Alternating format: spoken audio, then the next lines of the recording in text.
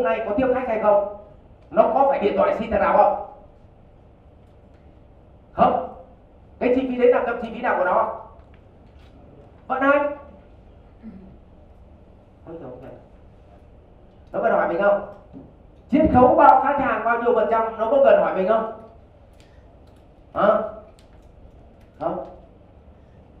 Và tôi nói cho các anh chị biết rằng là cái này nó ảnh hưởng ghê gớm đến việc bán hàng. Tôi hỏi các anh chị nếu các anh chị đi mua hàng, các anh chị thích gặp một thằng có khả năng thuyết hay là anh thích gặp một thằng đưa tin?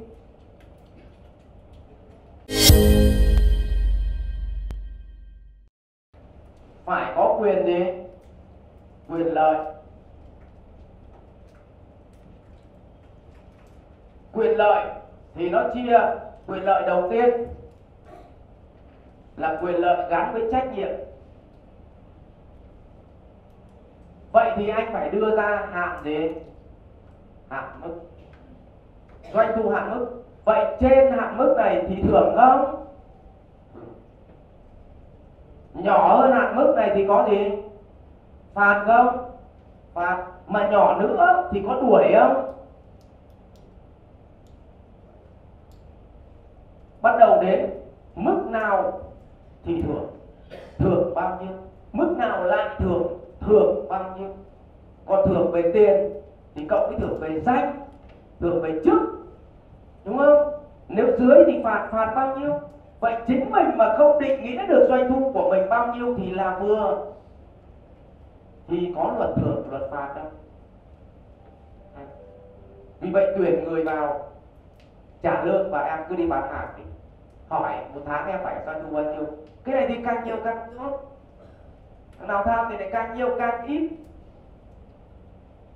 Cuối cùng nhân viên nó làm gì thì càng ít, càng nhiều. Ok, nào, công nợ các anh chị có đưa ra hạn mức không? Nếu trên hạn mức thì có phạt không? Riêng công nợ trên thì phạt nhé dưới nó vẫn đúng không? Chiết khấu. Nếu trên thì có phạt không? Phần dưới dư ra. Thì là của mình hay của nó? Của nó. Vậy lần sau mà nó giảm giá cho khách hàng là nó móc túi nó gì? Nó giảm giá cho khách hàng, vậy tiền của nó nó có giữ không? Thế là mình hết bí kíp, giảm hết bí kíp rồi. Biến tiền của mình thành tiền của nó. Còn biến doanh thu của nó thành lợi nhuận của mình chúng ta chỉ có hiểu biến tiền của mình thành tiền của nó. Có phải lúc bây giờ nó tiêu tiền của mình chính là tiêu tiền của nó? Mà tôi nói với các anh chị, chưa hết. Tôi nói hết cái phần này, rồi nói tiếp. Cái quyền lợi thứ hai là quyền lợi của cá gì cá nhân có một cái quyền lợi gắn với trách nhiệm và quyền lợi còn lại là gắn với cá nhân. Để nó làm được cái việc này, nó cần một chi phí vận hành không? Đúng không? Và vận hành này ăn theo cái gì ạ? Ăn theo trách nhiệm, tức là ăn theo doanh. Doanh thu. Có đúng không ạ? Nó cần cái quỹ lương không? Quỹ lương thưởng không? Nó cần một quỹ lương thưởng. Vì vậy, quỹ lương thưởng này cũng ăn theo gì? Ăn theo doanh thu.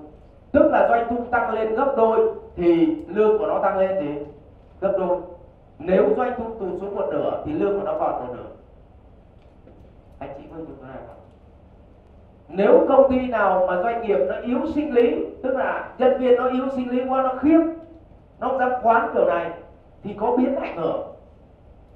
Thì cái biến ảnh hưởng tí nữa tôi sẽ chia sẻ sau đến đây các anh chị hình dung không? Như vậy, chúng ta quán được trách nhiệm và quán được quyền gì? Quyền lợi. Vậy thì mỗi một cá nhân trong doanh nghiệp bây giờ, nó chính là ông chủ phần công việc của nó. Nó móc tiền chi, nó có được quyền quyết không?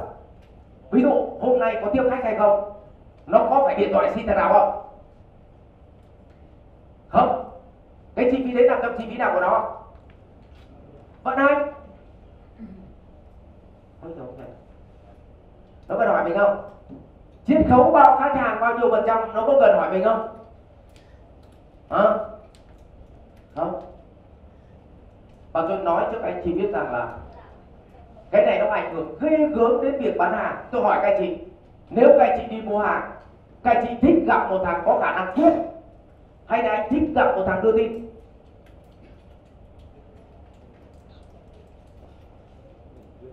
Bởi vì thường thì con người chúng ta coi biến thời gian là biến free nhưng tất cả bọn giàu có thì biến thời gian là tài sản lớn nhất của cuộc đời đó tôi lấy ví dụ, nếu các anh chị hình dung là các anh chị có 60 năm được sống và xếp vào đấy 60 cái que và cứ mỗi một năm qua đi, móc một cái que ném sang mẹ, khi bắt đầu cái đống này nó to đống này nhỏ, bắt đầu cuốn mẹ lên. Có đúng bây giờ đi khám ung thư nó bảo anh chị sống được 3 tháng nữa. Bắt đầu ngồi bắt óc sử dụng 3 tháng này thông minh thế nào? Vậy thì khách hàng của mình cũng vậy. Nếu gặp một thằng mà phải đến 3 lần mới giải quyết được việc, thì ông chỉ bán được cho những thằng gọi là tôi xin lỗi là khách hàng. Ngu còn đã bán cho khách hàng và thông minh, mà nó trả tiền nhiều, mà nó phải gặp ông đến lần thứ ba ông mới tư vấn đổi cho nó, thì đến lần thứ hai nó đã đổi cút vậy nó cần gặp một người có khả năng quyết chứ không phải. Anh không làm cái việc này em không quyết được chờ tí trong em điện được xin phép sếp sếp thì đang đi ngủ với bồ. Tít tít tít tít tít. Mà thằng sếp đang chừng em máy. Anh chờ em đến chiều, điện lại thì em thông báo chiều điện lại chốt nó bảo rằng, thôi tao thôi tao tìm được mối khác có thấy trường hợp đấy không anh chị? Giao cho nó cái quyền quyết. Và đời không phải là tiền. Đời được sống tự do, tự tại. Và nó tự quyết được việc có mời thằng nào đi nhậu hay không? Nó tự quyết là bố bị giảm giá cho thằng này hay không? Nó tự quyết định được thu nhập của nó hay không? Nó tự gì? Ra được nó biết là hạn mức công nợ của nó thế này là tốt hay xấu hay không để được hưởng thì cuộc đời của nó chính là của nó. Còn nếu mà ông cầm tất cả những thứ còn lại, duy nhất ông trả lương cứng, thì cuộc đời của nó là cuộc đời của mình. Vậy ông chính là thằng cầm chìa khóa địa ngục của nhân sinh chính vì vậy, những người làm ở trong môi trường nhà nước lương cực lúc nào họ cũng coi đấy là địa ngục. Nhưng chỉ có điều địa ngục ấy nó có máy lạnh không ơi tức là ngồi trong đấy vẫn kêu nhá. Nhưng vẫn ở. Vẫn kêu chán môi trường nhà nước nhưng vẫn ở vì nó có máy lạnh nó an toàn. Và vô tình anh biến anh trở thành ông chủ của cái tù của, của đám nhân viên của anh. Thế thì làm sao mà mà nên nhớ cái bọn đi tù là bọn tử tế hay là bọn mất dạy? Và tất cả bọn tử tế nó đi hết chỉ còn lại con ngoan và ngu nó ở lại anh chị